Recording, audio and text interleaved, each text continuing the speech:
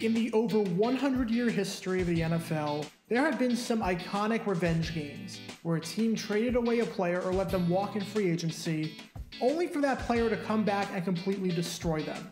Deion Sanders coming back to the Georgia Dome and getting a pick six as a member of the 49ers. Joe Montana throwing two touchdowns and leading the Chiefs to a victory against the 49ers.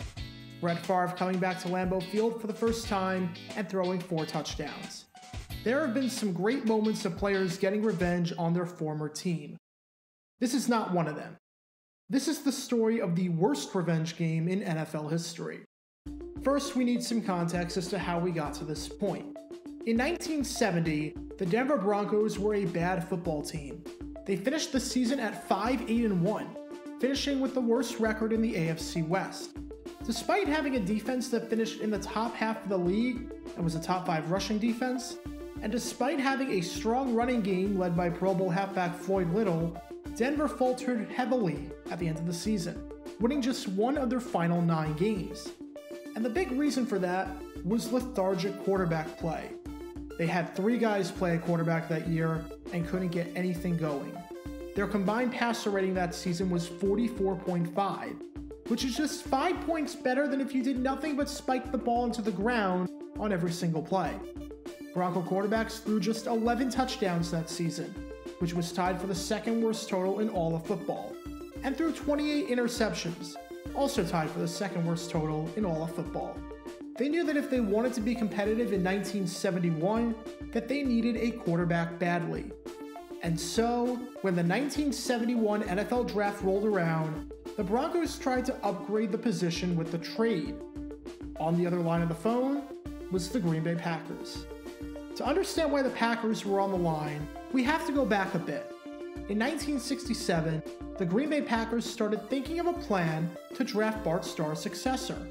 Starr was coming off of an incredible 1966 campaign, where he made the Pro Bowl, was named a first team All Pro for the first and only time in his career, won the Super Bowl, led the league in completion percentage, and was named the MVP of the league but he was going to be 33 years old by the time the 1967 season began. Now, while that might not seem old now, we need some context because back then, no quarterback played past their mid 30s. Arguably, the three greatest quarterbacks in NFL history at the time were Sid Luckman, Otto Graham, and Norm Van Brocklin. They all retired before their 35th birthday.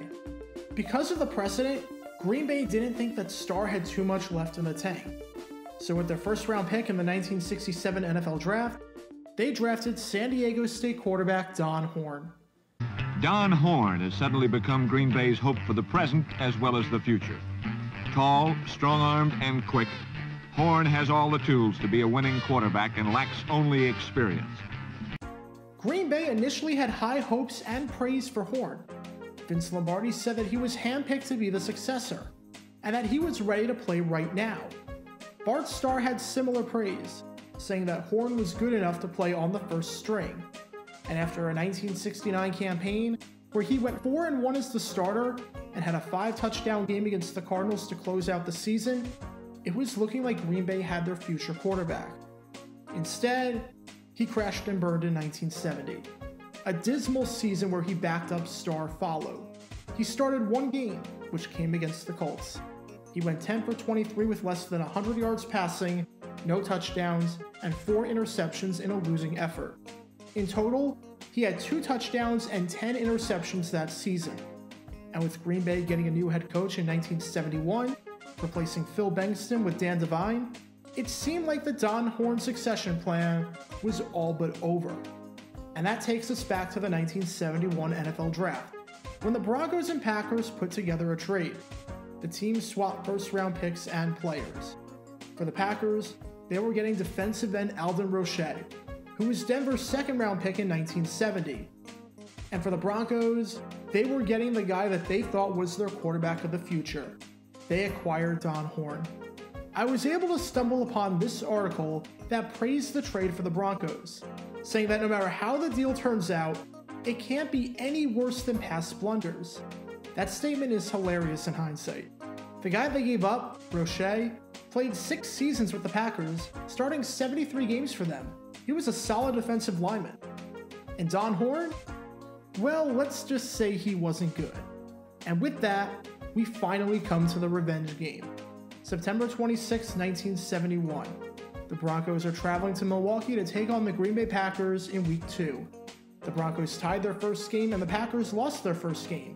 So, considering the fact that neither team won their first game of the season, this felt like a must win for both sides. Don Horn was getting the start for the Broncos and had a chance to show the Packers what they were giving up. Instead, what transpired was just about the worst possible revenge game of all time. Horn threw no touchdowns and six interceptions. His passer rating was 26.4. Again, for some perspective, if you did nothing but spike the ball into the ground on every single play, your passer rating would be higher than what Horn's was on that day. The Broncos lost the game handily, losing it 34 13 and the lone touchdown scored came with less than a minute left in the fourth quarter in garbage time, after Horn got benched for Steve Ramsey. Broncos head coach Lou Saban was so upset by the performance that he called it the team's worst performance since he became the head coach in 1967. And Horn was quite blunt as well, saying that this was the worst game he ever had in football. Denver seems to have all the ingredients to be a winner. But for the second straight week, Saban has seen his quarterback, Don Horn, throw the key interception. 10 in the last two games. And you better believe he's getting tired of that too, considering Horn was supposed to be trumpeting Denver out of the woods. Horn finished the season with three touchdowns and 14 interceptions, and would not throw a single pass for the Broncos after that 1971 season. He bounced around the league for a few seasons in the early 70s, but was out of the NFL by the end of the 1974 season. Sometimes, teams immediately regret giving up a player, and sometimes, that player proves their former team right. This 1971 game, however, was perhaps the biggest stamp of validation in NFL history. The Packers got it right. Be sure to like this video and subscribe down below if you haven't already, as it helps the channel out a lot. And be sure to check out Twitch every Tuesday night at 9 p.m. Eastern for your chance to play NFL trivia and win cash prizes. Link in the description below. If you want to see videos like this condensed down to 60 seconds, then follow me on TikTok at JaguarGator9 and subscribe to 60 Second NFL History on YouTube. Also, special thanks to all of our Patreon supporters for helping the channel. Your support is greatly appreciated. So you can become a patron and request future video topics in the description below.